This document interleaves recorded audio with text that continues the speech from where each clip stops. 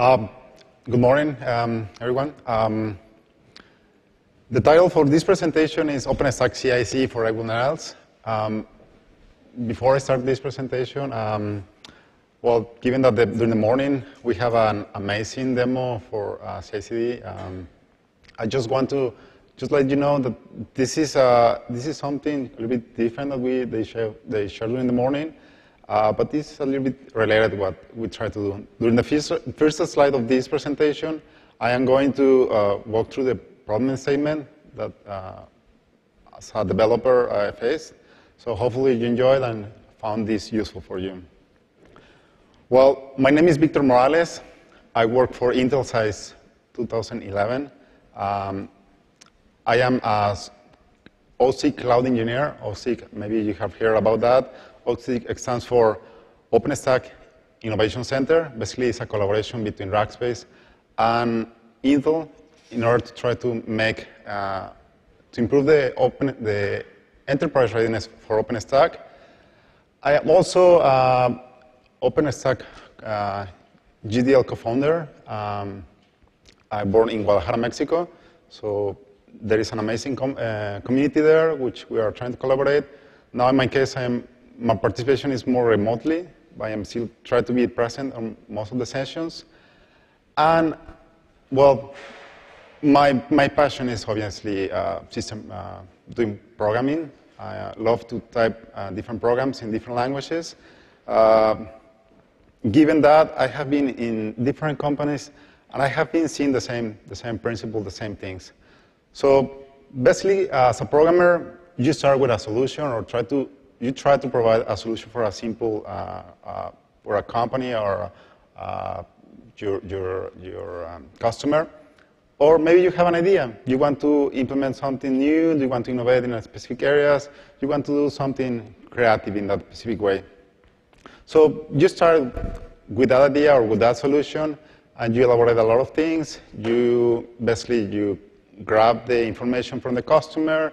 You start to make your analysis. You develop the application. You create a couple of tests. You do a lot of things in that specific area. So yeah, you have the application. You test it. You deploy it. Maybe in this case you use OpenStack, and everything is perfect, right? Uh, the customer maybe is happy, or maybe that new idea is, um, is something that you are creating something cool. Um, but once that, that application is, is over there in production and you have a lot, a lot of things there, uh, maybe the customer is so happy and he wants to add new things. And those new things uh, definitely um, probably could compromise the, the existence or the, the current features that the application has. So the application is still fragile, and maybe adding these new things could be um, broke, broken some, some other parts of the application. So you have to be careful in order to fix those things. Or maybe you only have to fix a specific bug, but again, uh, this application is fragile, so you have to be careful of doing whatever change that you have to do in this specific application. So um, thanks for, for a couple of um, guys. They developed these, uh, these technologies. Basically, we have continuous integration and continuous delivery or continuous deployment. Continuous integration uh, is a software development practice which basically is focused in having continuously integrated the work that the uh, developers are doing.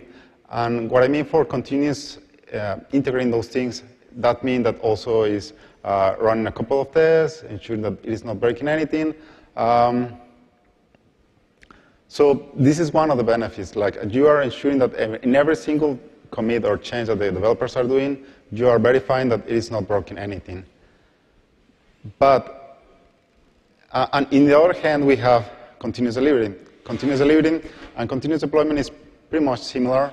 Um, both the idea is to have all these changes, all these um, yeah, all these changes that the, the, the, the, um, the, developers are doing ready for, for in a stage where you can, uh, as a final decision, take those changes and deploy it in your servers.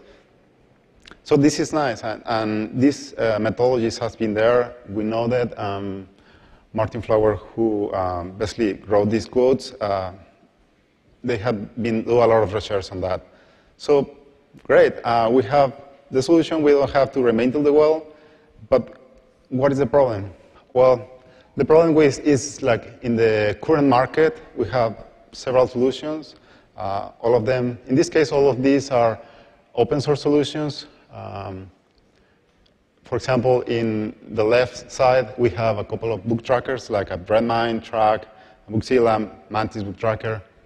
In the middle, we have a couple of uh, continuous integration uh, tools. Um, just to few, and a few of them is Jenkins and, and TravisCI. On the left hand, we have uh, um, system control versions. And the problem with this is like, given the, this amount of tools and different possible solutions, you have to figure out a way to connect all the single things. It is not easier. It is, it is something that you have to spend time to investigate. You have to figure out which is the best tool, the best tool that fits all your necessities. And,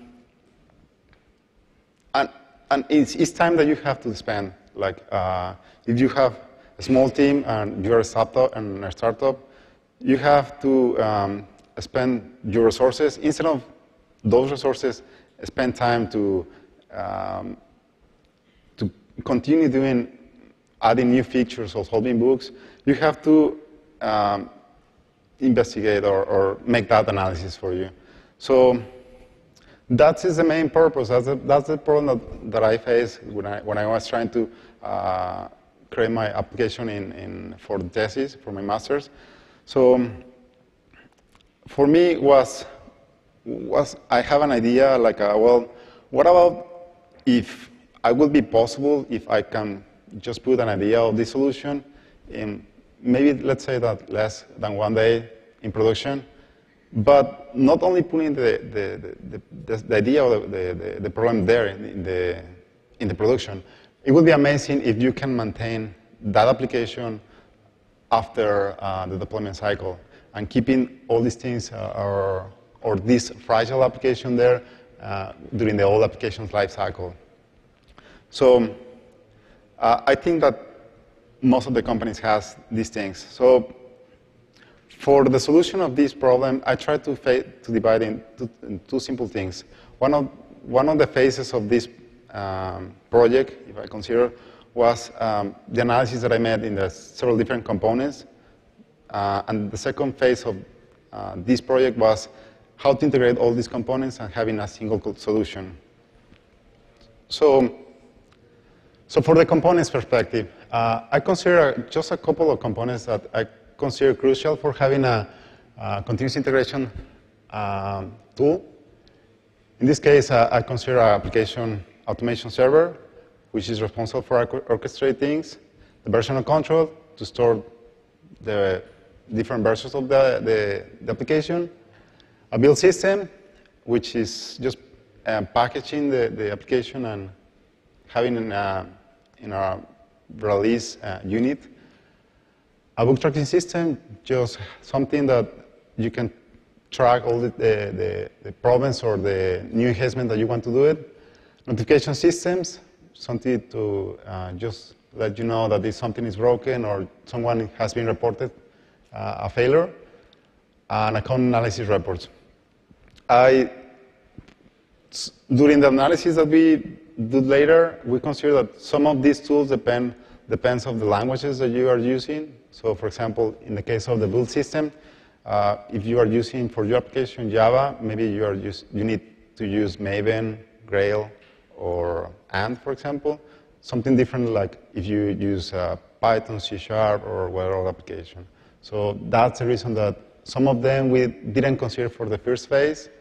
Um, for every single component, we try to just focus in, in five things. Uh, well, in this case, says, sorry, in, five, in four things. Uh, the first thing, we consider that it will necessary to have uh, the proper license. I only consider uh, open source licenses mm, for obvious reasons. Um, so, but it's, it's good to know that we have to pay attention what is the license that we are using for, for this application. Fixtures, uh, obviously there are uh, there is a lot of uh, options or, or things on the market, but um, you have more things to offer for these uh, different components, it will be amazing. So we try to evaluate every single component in what are the features that it's offering. Level integration, what I, what I mean for level integration is, yes, it's nice to have a great component with a lot of features, but it's also important that this component has the ability to connect with other components. So that's the reason that we consider the level integration for, for this one. And the last thing, and not less important, that those components need to be installable. That means, um, yeah, there are many solutions in the market where you can only, uh, they are exposing the services and you can connect them, but it would be better if you can have all these things in your own infrastructure.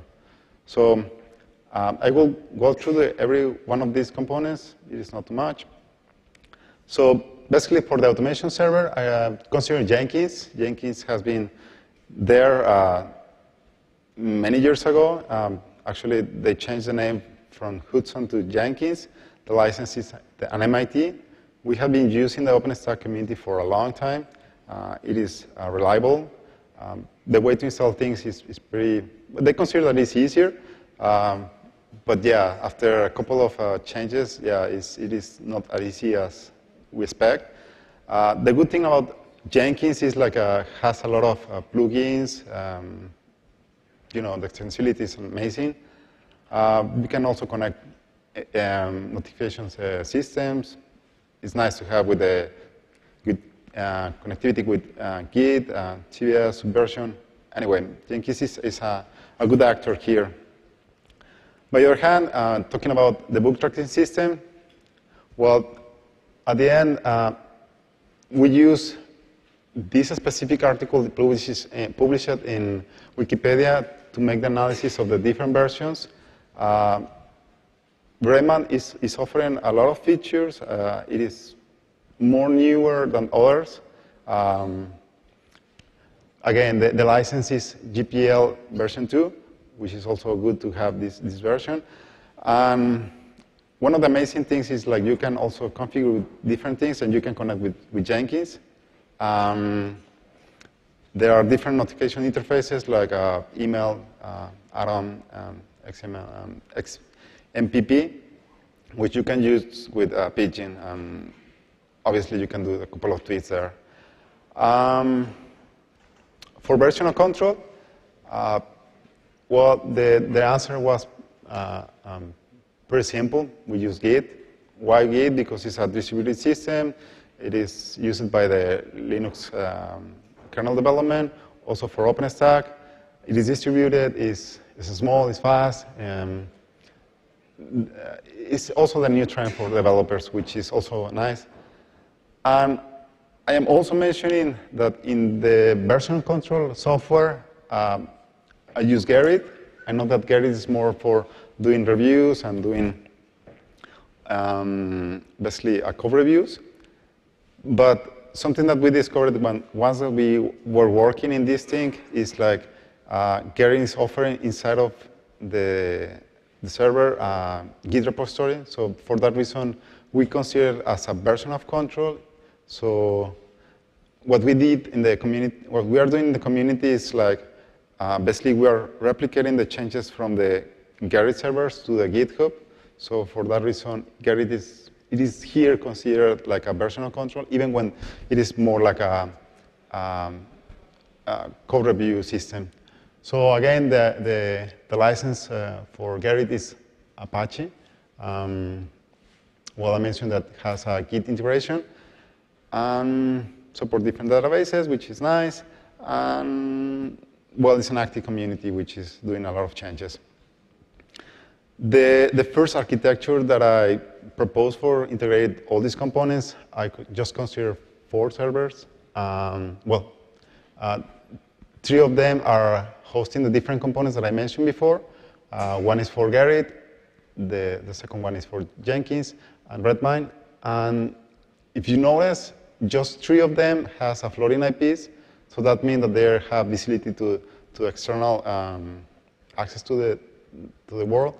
Uh, the third one only contains a database Um, I know that this is a poor architecture, uh, but the idea is like this project uh, start collecting all the, the good practices and, and, and having better distribution and things like that. So, well, this, all these things are just related with the, the components. So for the next phase, um, I considered the way to deploy these things. And the way to deploy these, these components, um, I choose um, the deployment tool, Terraform. Uh, the reason that I choose Terraform, um, basically, uh, it is because Terraform is a cloud agnostic tool. So it's pretty nice if you have a chance to take a look. Uh, Terraform, basically you describe a, a declarative way, like, okay, I want this, this, this, all these things, and Terraform figure out how to uh, deal with the, the, the, resources. So every time that I have to explain to my colleagues what is Terraform, it is more like a, um, having Puppet, but using Puppet in a, in a cloud. So usually in Puppet, you describe what are the things that you want in your server, and in this case, Terraform, you describe the resources that you need for your application. So it's pretty nice. Uh, I, I, really like Terraform.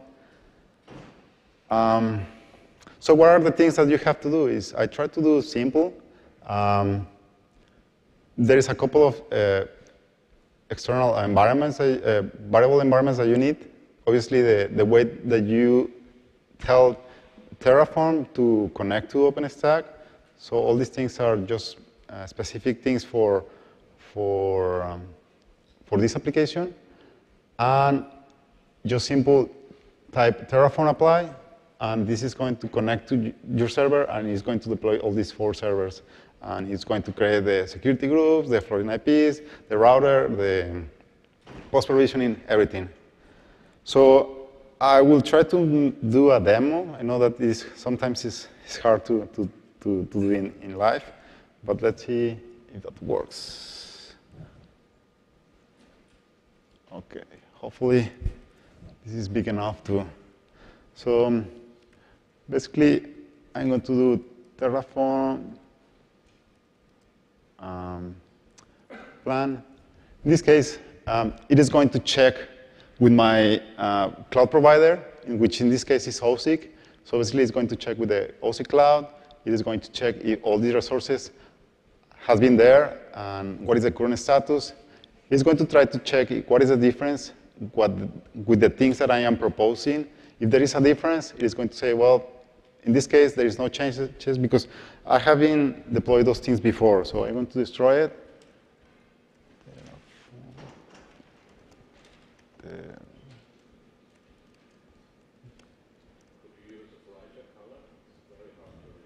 Really? Okay, so maybe, maybe if I do it bigger.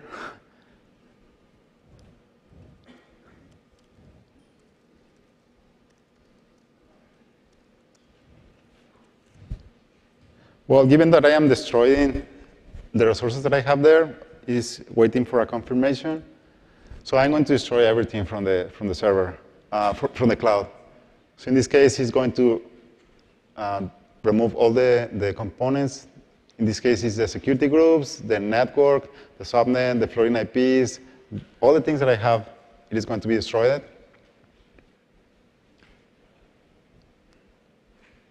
And what I want to show after the deletion of these, the, these resources is like the way that is the easy way to deploy all these things.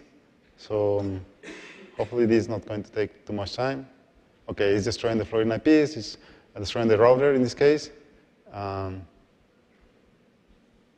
and it is almost there, security groups.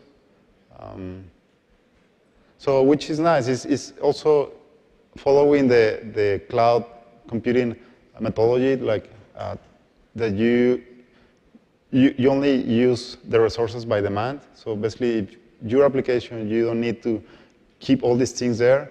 You can destroy the, the resources, and basically, you are not paying any, any more money to the, to the cloud provider. Um, I promise that it is, it almost there. I don't know why it's, it's taking a little bit more. Oh, yeah, there it is. So for now, I don't have any resources. just the only thing that I want to show here is like how easy it is to, to deploy this development uh, infrastructure. So again, it's using Terraform, apply, and that's it. That's the only thing that you have to, to type. In this case, is it is going to tell you all the, the details of your application. Um,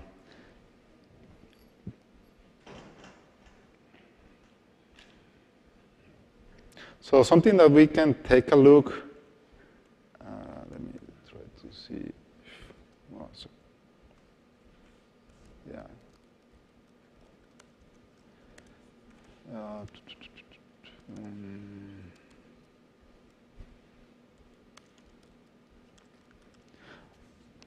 I just want to just look, work through the, the source code here. Uh, a little bit of the, the, files that are deployed there is uh, a couple of Terraform files. The only thing that you have to modify in this case is uh, the variable stuff, where it contains all the details that are used for uh, your, your, cloud provider. In this case, uh, obviously, from different cloud providers, they are using different flavors or different images. Um, the external gateway is completely different. So it is something that you have to consider for, for, um, for your deployment. Um, obviously, the passwords are here, so it is not too much secure. But anyway, um, at the end, if I am looking at the uh, tree, well, at the end, once that everything is, has been provisioned, uh, the output, it is showing the floating IPs that you can use to connect your, your services.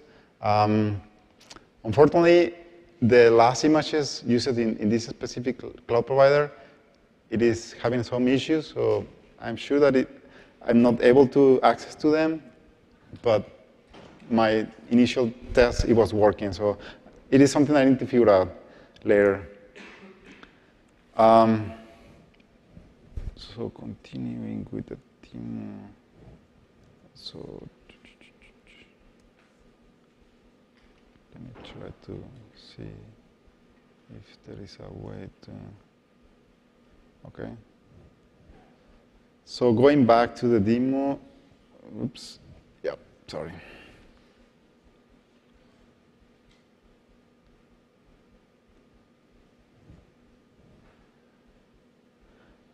Well, that was the demo. Um, I have a couple of future plans for this specific uh, project. Um, one of the things you notice, this is a this has a poor uh, architecture. Obviously, it, it requires a lot of uh, things to do there.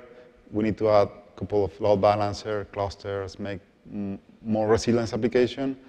The security improvements, again, um, I am just using uh, plain text so maybe it would be nice to increase the passwords, um, to do um, better distributed ways to, to, maybe also distributing the, the networks and that way also improve the security and stuff. Um, talking about cloud providers, given that Terraform is, used, is able to communicate with different cloud providers, it would be nice if this can be uh, tested in AWS or um, I don't know, uh, Google Compute. And the last thing is a mutable server. For this case, is a design pattern that Martin Fowler uh, exposed. Basically, instead of deploying an instance and after the installation, you modify that instance, installing new things. The idea is like having an image for every single uh, service. So, so in that way, the only thing that you have to take care after the installation is just the configuration files of these things. So basically, it's all that I have. Uh, all these changes uh, has been submitted to one of the internal um, OpenStack projects. In this case, is OS OPTS tools contribute. The changes are there. You can go there and you can uh, use it and modify, including things. Actually, this is more a call for action. Uh, it would be nice if you um, share your experiences, share something in common, um, and maybe do it more better. I know that a lot of people could be benefit of those tools. So please uh, contribute in these uh, things and share your experiences. Uh, is basically all that I have. I don't know if you have questions or comments or suggestions. All of these things are welcome. Uh, or this is the display for my company.